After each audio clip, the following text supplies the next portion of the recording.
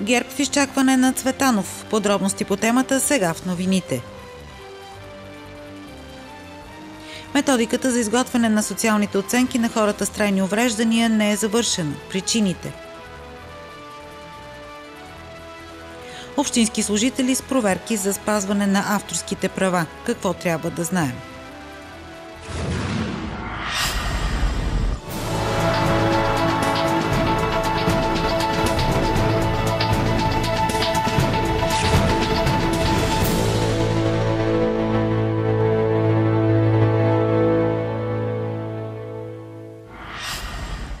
Уважаеми зрители, добър вечер! Гледате емисията Новините днес на телевизия Загора. Аз съм Женя Манахилова. Политическите новини. Добре е преди да се правят каквито и да било изявления да се чуе Цветан Цветанов какво решение ще вземе. Това каза за телевизия Загора заместник председателят на Народното събрание Емил Христов. Депутатът от ГЕРБ подчерта, че партийните структури не бива да се произнасят преди органите да направят разследване на имотния скандал, в който са замесени четирима висши политици от управляващата партия. Оставката на Цецка Цачева ще бъде гласувана в сряда. Емил Христов е категоричен, че трябва да се изчака решението на Цветан Цветанов относно скандала с ефтините апартаменти. Според заместник председателя на Народното събрание, не бива да има два различни морала – един за опозицията и друг за управляващите. Той призова Елена Йончева да каже истината за себе си и да се оттегли от надпреварата за Европейският парламент. Всички, които по някакъв начин са поставени под въпрос трябва да си тръгнат, нали така? Mm-hmm. Е да, обаче до този момент виждаме, че от опозицията никой не си тръгва. Моля ви да кажете сега, за, преди да коментираме пак опозицията, моля ви да кажете какъв е проблемът, защото вие казахте, при всеки проблем някой си тръгва. Какъв е проблема според вас тук в случая? Всъщност... Морал ли имаме нарушен? Закон ли имаме нарушен според? Аз не бих какво? могъл да кажа има ли Или нарушен очаквате закон. органите да, да се произнесат? не бих могъл да кажа има ли нарушен закон. Ако има нарушен закон, тогава нещата вече са сериозни. Но нека да го гледаме отново в светлината на единия морал за всички българи. А трябваше ли министър Цачева да подава оставка? А, министър Цачева е всъщност с, с своя една особена, една особена психика и разбиране за достоинство и, и за чест. Подаде оставка, защото така преценява. Между другото, много хора така подадоха оставка. Имате предвид предишни министри, които са били тя не би искала, тя, тя е свързана много дълбоко с ГЕРБ и не би искала по никакъв начин на това, което се случва около нея, да влияе на партията. И това е разбираемо, това е достойно. Оставка беше поискана от заместник министра на спорта, обаче. Тя не, не подаде заместник, сама оставка. Не мога да, не съм... Поне това Не чухме. мога да кажа заместник министърката на спорта кога и по какъв начин е подала оставка, но... Малко по-късно след но това, но това, това просто е израз на собствено виждане. Така са преценили, Има така са го това не е ли израз и, и знак за това какво мисли Бойко Борисов по случая? А, по-скоро, по-скоро е израз е на това какво и представляват, какво представляват хората, които са на ръководни позиции от ГЕРБ. Тоест това е тяхното разбиране. Моля ви тогава и да коментирате изказването на Томислав Дончев от вчера за това, че имотният скандал може да нанесе щети, цитирам, и а, Цветанов дължи информация и отговори на въпроса. Всеки един скандал нанася щети. А, в случая не само на управляващата партия, не само на ГЕРБ. Този скандал нанася щети на цялото ни общество. Емил Христов отказа да коментира има ли приятелски огън вътре в ГЕРБ. Партийните като... структури не бива да се произнасят, докато не чуем лично човека. А, и не става дума само за, за господин Цветанов. Всяко едно произнасяне, всяка една присъда, всяко едно вземане на отношение, преди да сме се запознали с, с фактите отблизо, защото това, което излезе до сега в медийното пространство, някак си не е точно това размито. Включително и с промяната на закона, включително и с това разследвана ли е фирмата или не е разследвана. Оставката на Цецка Цачева като министр на правосъдието ще бъде гласувана от парламента в сряда. Демократична България ще имат поне един кандидат в Европарламента и той ще се казва Светослав Малинов. Такава прогноза направи в студиото на телевизия Загора Мартин Бойчев от ДСБ. Другата му прогноза е, че тази година, освен европейски и местни избори, ще има и парламентарни. Скандалът с апартаментите е поредният голям скандал ГЕРБ, който ще доведе до криза в управлението и до предсрочни избори, смята Мартин Бойчев от ДСБ. Поредното отславане на позициите на ГЕРБ, поредното, поредният скандал, поредно отславане, да пророкуваш избори и политически резултати е най-благородната работа на този свят. Ако правиш това, ще умреш от глад, но аз бих Ако... пророкувал, че тая година парламентарни избори ще има. Вече скандалите са много. Представителят на Демократична България коментира коалиционното споразумение между ГЕРБ и СДС. СДС се продадаха за два сребърника, един е избираем. Ама и това избираеме, нали, това, което чух тук от а, някои седесари, нали, че оправданието е, че а, са местни тръгнали... седесари говори. Да, местни, да, говоря, сързагорци, че са тръгнали на този ход с цел а, да имат някакво представителство най-после някъде. Нали, толкова години нямат никакво представителство. Но това изобщо не е сигурно, че дори ГЕРБ да им, отстъп, да им отстъпят пето или шесто място, значи активните си децари, тия, които са старите си децари, няма да го признаят това нещо. Тук, значи, ние говорим за някакво обединение, заявяване в обща листа, ама то не е даже обединение, защото няма никакви идеи, няма около какво. Какво се обединяват? ГЕРБ дава едно място на СДС. Е, някакви идеи, някакви политики, нещо, нищо пето или шесто или седмо място там, което било избираемо. Но това пак не е сигурно, нали? Защото а, с преференциите ГЕРБ са много силни в тази тема. Не знам СДС дали ще могат дали да съберат такива да преференции. Да. Първо. Второ, голяма част от а, старите си десари се обръщат към Демократична България. Те чакат да се обединим. Он с един... кого?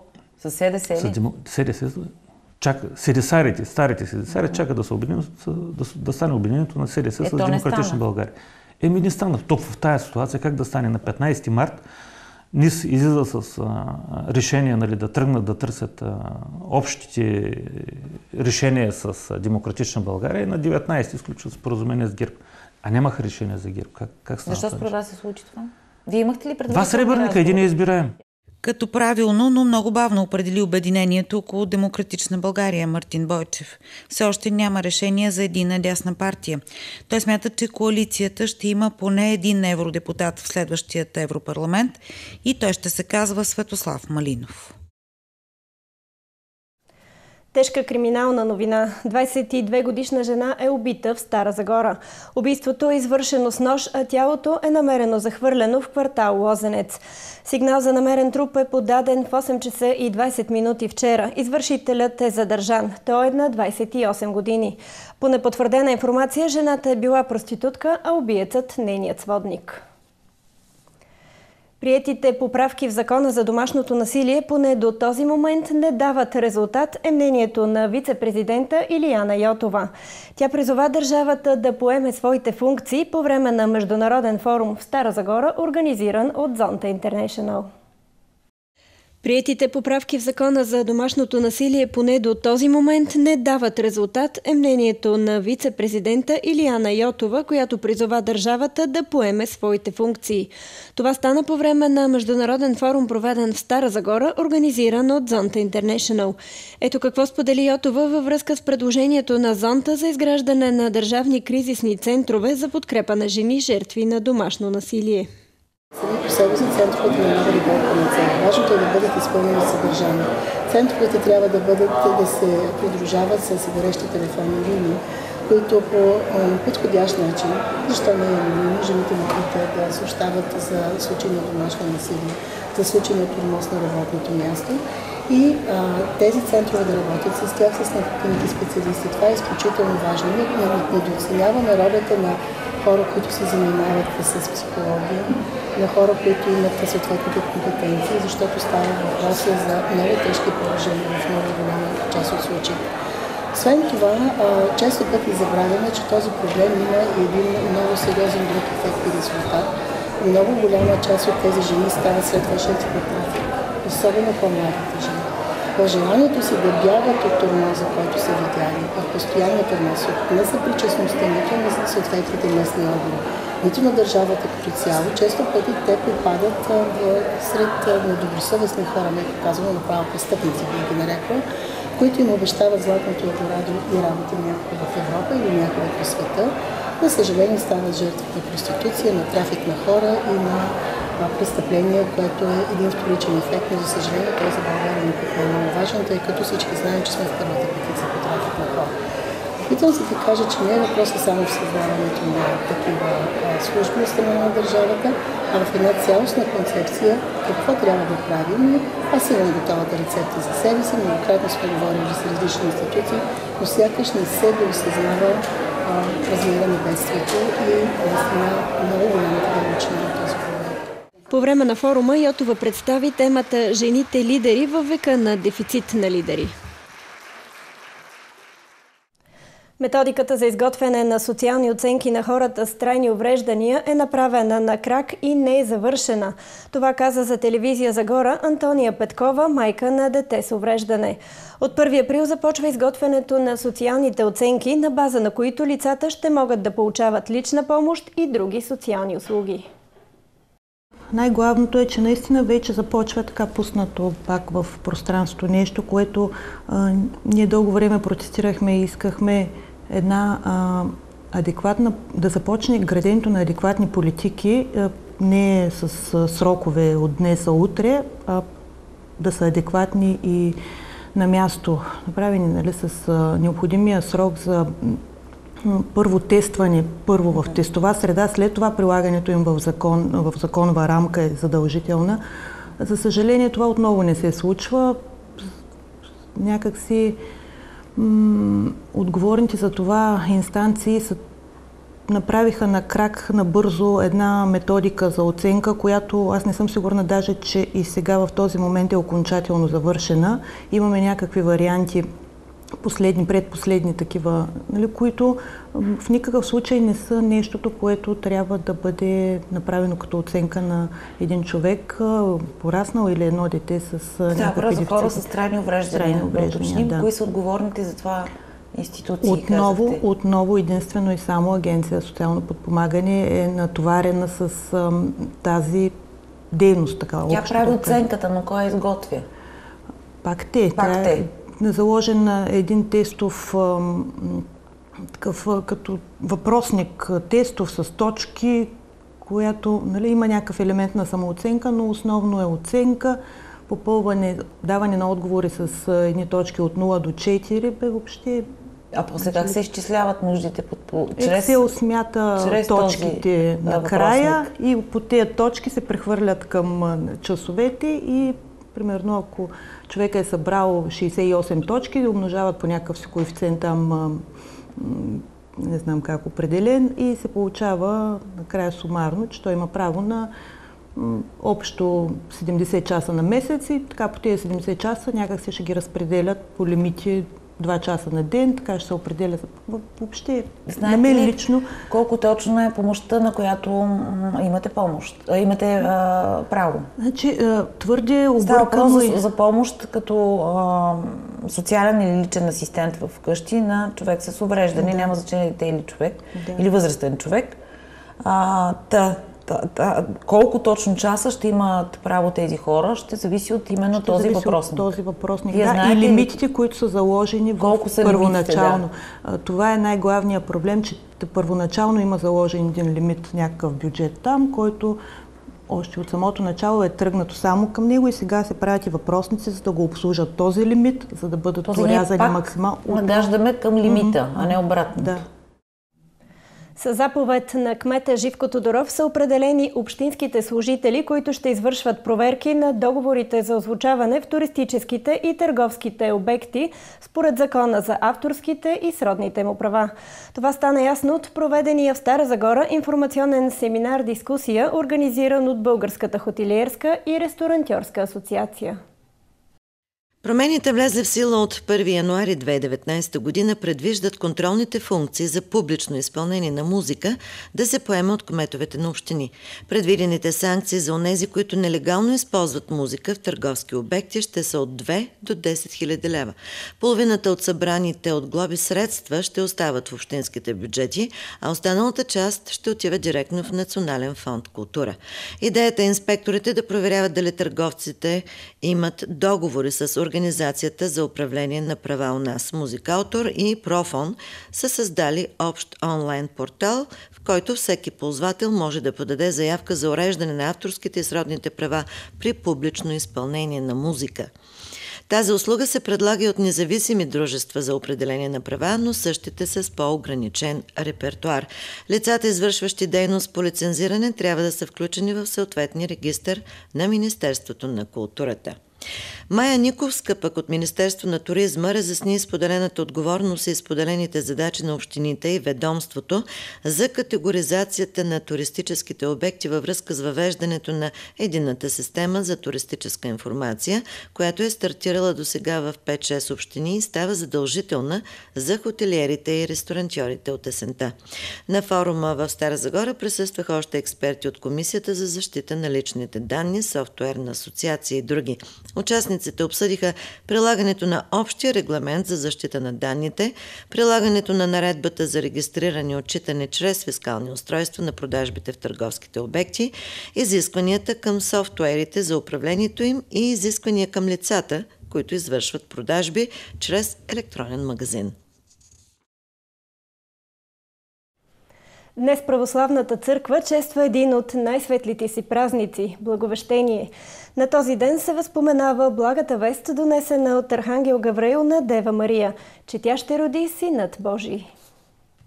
Празникът е утвърден от Православната църква през 7 век. За него разказва Евангелието от Лука, глава 1. Днешният ден в християнската традиция се почита като празник на майката. За българите празникът е известен още като благовец. В народните традиции благовещение се счита за половин велик ден. На този ден пробиват ушите на малките момичета да мгосват агнетата и яретата, защото се вярва, че няма да ги боли. По мястото си в календара Благовец стои най-близо до пролетното равноденствие и българите го свързат с пролета. Вярва се, че на този ден долита куковицата, за да извести, че зимата си е отишла и настъпва лятото. Мечката се събужда от зимния си сън, змиите и гущерите излизат от леговищата си. Самодивите, господарки на горите, поляните и изворите се завръщат във владенията си. На Благовец се спазват редица забрани с предпазващо човека значение. В ранното утро ритуално се прогонват от дома дивите твари. Имен ден празнуват Благовец, Благовеста, Благо и Блага. Честит празник! Знак на признателност към огромния принос на художника Хералдик Христо Танев при създаването на парк хотел Стара Загора като носител на тракийското наследство и познание и във връзка с внезапната кончина на големия творец и общественик от днес, 25 март, Благовещение, голямата конферентна зала Тервел на петзвездния комплекс ще носи името Христо Танев. Това се казва в съобщение на прес-центъра на дружеството. От днес, 25 марта, Благовещение, голямата конферентна зала Тервел на петзвездния комплекс ще носи името Христо Танев. Благодарение на Христо Танев във всеки един детайл от красивия комплекс край езеро Загорка е вплетена енергията на тракийските предци, населявали нашите земи преди много векове, чрез многобройните символи, знаци, стенописи, статуи и орнаменти, създадени и композирани от Христо Танев. Той превърна парк хотел Стара Загора в своеобразно светилище на духовността, която продължава да живее в нас от времето на Орфей до днес, благодарение на посетители като него. Енциклопедичните му познания в областта на хералдиката, езотериката, историята, археологията изобразителното изкуство ще продължават да живеят и след него, чрез впечатляващите витражи на парк хотел Стара Загора, чрез имената на древните тракийски божества, с които големият художник покръсти различните части на комплекса. Христотянев беше не просто пазител на българщината, талантлив художник и обществен водач. Той беше приятел и самишленик на създателите на комплекса на болница Тракия, семейство Колеви. Той е автор на логото на парк хотел Стара Загора, на болница Тракия, на трета поликлиника, на ресторант Орфиида. Христотанев създаде гербът и знамето на Стара Загора. До последния си час не спря да работи, да създава, да открива, да води другите, вярвайки, че осветените с хляб, вода и вино са истинските носители на доброта свободата, прогреса и човечността, се казва в пресъобщение от името на семейство Колеви. 26-те поред Чудомирови празници се откриват от днес Благовещение в Казанлък. По традиция, първият ден на празниците съвпада с рождения ден на патрона им. Хумористът от Турия прослави образа на нашенеца по света Димитър Чурбаджийски Чудомир. Тази година празниците преминават под мотото «Никой не е по-силен от слабостите си» включват както традиционни утвърдени вече прояви, конкурси, изложби и фестивали, така и съвсем нови инициативи, които ще популяризират творчеството на Чудомир. За пореден път публиката на празниците ще избере комедиен хит на сезона, както и ще бъдат отличени най-младите последователи на Чудомир в националния конкурс за весела детска рисунка «Малките нашенци». За първи път в рамките на празниците на Чудомир ще се проведе втори научен форум Национална кръгла маса, посветена на проблемите на фолклора. Няколко нови книги ще срещнат своята казанлъжка публика публика по време на празниците. Това са премиерите на книгата на Явор Милушев, представена от професор Веселин Методиев, а покрив за вояжа на една овца от стадото на пастира, години любов на журналиста Георги Тошев, книгата на Иво Милев, посветена на живота и смъртта на Людмила Живкова и стихосбирката Благословете Юда на Мария Лалева. 26-те поред празници, посветени на Чудомир, ще бъдат открити с музикален концерт за цигулка и пиано на професор Йосиф Радионов и Зорница Радионова. На концерта за първи път казалъчени посетителите на празниците ще чуете изпълнението на цигулка от цигулката на съпругата на Чудомир Мара Чурбаджийска. Част от тази годишните Чудомирови празници е и пътуващата изложба с репродукции на Чудомир, която на 1 април ще бъде открита в град Хисаря. Експозицията е и част от програмата Пловдив Европейска столица на културата 2019. За тази годишните празници на Чудомир в Казанлък за поредна година възпитаници на Националната гимназия по пластични изкуства и дизайн Академика Дечко Озунов града издигнаха и поред поредната си арт-инсталация и този път тя е слика на Чудомир. Спортните новини. Барой постигна исторически успех, като спечели Адриатическата лига след инфарктен финал. Старозагорки се наложиха над будучност 65 на 64. Берое е вторият български отбор, който печели турнира след ЦСК през сезон 2006-2007. Броя Стара Загора спечели Адриатическата лига за жени за първи път в своята история. На финала българският тим записа драматична победа срещу действащия шампион Будучност с 65 на 64. Вице-шампионът в родното първенство контролираше събитията на терена почти през целия матч и въпреки, че допусна обрат в края, показа характер в заключителните секунди и измъкна успеха. Зелените направиха с 8 грешки повече от съперника, но имаха предимство по останалите показатели. Черногорският тим записа кошмарен процент от тройката – 1 към 17, като именно стрелбата от далечно разстояние изневери на тима и в ключовите моменти. Берое е вторият български отбор, който печели турнира след ЦСК през сезон 2006-2007. Бронзовите медали отидоха при домакините от Цинкарна Целе, които победиха Цървена звезда с 83 на 70. Баскетболистките на Таня Гатева започнаха отлично срещата и само за няколко минути поведоха с 15 на 16 след силни изяви в подкошието. След това обаче българският тим направи и няколко грешки, от които съперникът се възползва и стигна до равенство 17 на 17 след първата част. Основен проблем за защитата на Берой създаваше Николина Бабич, която отбеляза 11 от точките на своя отбор. Вторият период стартира с серия от 10-0 в полза на тима от Стара Загора. След това обаче Ана Почек получи техническо нарушение заради недоволството си от отсъден фал. Будочност успя да намали разликата само на 3 точки при 24 на 27, но след силни минути на почивката Берое отново водеше с двусифрен аванс при 38 на 28. Малко след паузата авансът на зелените достигна 15 точки. Съперникът им обаче отвърна с 12 безответни точки, като близо 6 минути Бероя не успяваше да се разпише. Негативната серия бе прекъсната от Милена Томова, а преди заключителния период отборът и водеше с 50 на 46. В финалната четвърт тимът на Таня Гатева поддържаше крехък аванс, но 53 секунди преди сирената Николина Бабич изведе будучност за първи път напред при 60 на 59. Кошна Саная Чонк отново върна водачеството на Берое при оставащи 35 секунди. Два успешни наказателни удара на Снежана Алексич качиха разликата на три точки. В оставащите 7 секунди Николина Джебо пробва тройка, но бе настъпила линията и намали преднината на Бероя само на точка. Алексич вкара още два фаула за 65 на 62 две секунди преди края, а Николина Бабич стреля от тройката в опит да прати мача в продължение. Тя не успя да вкара, но бе фаулирана с сирената и застана на линията за изпълнение на наказателни удари. Баскетболистката бе точна при първите два, но при решителния трети се пропука и победата остана за Берое. Най-резултатна за успеха на Старозагорки бе Бриана Люис 14 точки, а на Почек вкара 12, а с 11 е Снежана Алексич. Волейболистките на Берое започнаха с загуба по финалния плейоф. Тимът отстъпи на Левски с 3 на 0 гейма. Тази вечер в зала Иван Вазов Стара Загора се играе и втората среща между двата отбора. Волейболистките на Левски победиха като домакини Берое с 3 на 0 гейма в първия матч между двата тима от полуфиналните плейофи на Национална волейболна лига жени. Матчът бе изигран в столичната зала Люлин. Сините поведоха с една на нула победи в плейофната серия, която се играе до две победи от три мача. Втората среща между двата тима е тази вечер в Старозагорската зала Иван Вазов.